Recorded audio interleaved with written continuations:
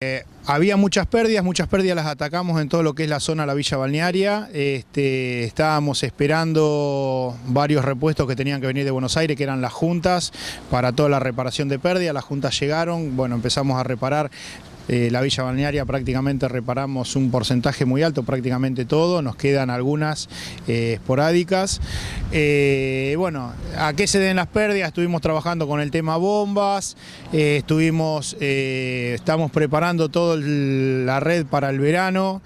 Eh, pusimos bombas nuevas, aumentamos la presión en la red, bueno, eso hizo que, eh, bueno, que reaparecieran algunas pérdidas en aquellos lugares donde más que nada son cañerías que son viejas, o sea, apareció mucho sobre la villa balnearia también porque son cañerías de asbesto cemento, donde eh, la unión entre caños supuestamente con los años se ha ido desgastando, llega una junta de goma, esa junta en algunos casos ya con los años no da más, está reseca, eh, bueno, y ahí al aumentar la presión ahí es donde aparecen las pérdidas y bueno, es lo que estamos trabajando eh, en toda la ciudad, bueno, aparecen pérdidas también en distintos lugares, en Quequén, ayer estuvimos trabajando mucho sobre, sobre Quequén, que tenemos muchas pérdidas, hoy también estamos trabajando sobre Quequén, este, y bueno, todo es debido a que estamos reforzando más el tema de la red de agua.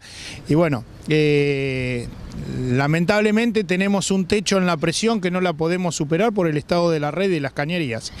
Cuando superamos un poco la presión, eh, claro, empiezan a aparecer pérdidas, así que bueno, estuvimos haciendo algunas pruebas, empezamos a parar pozos, este, pues bueno, eh, lo que estamos haciendo, lo que te decía recién, estamos reacomodando todo lo que es el tema de bombas.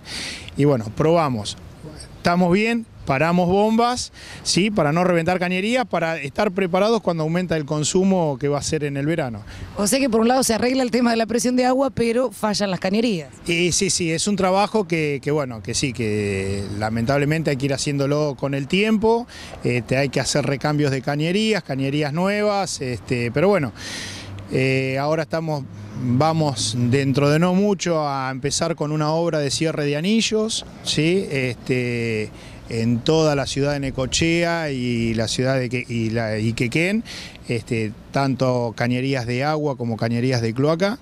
Eh, que bueno, eso también va a favorecer mucho a lo que es este, la presión de agua en aquellos lugares donde las cañerías están abiertas.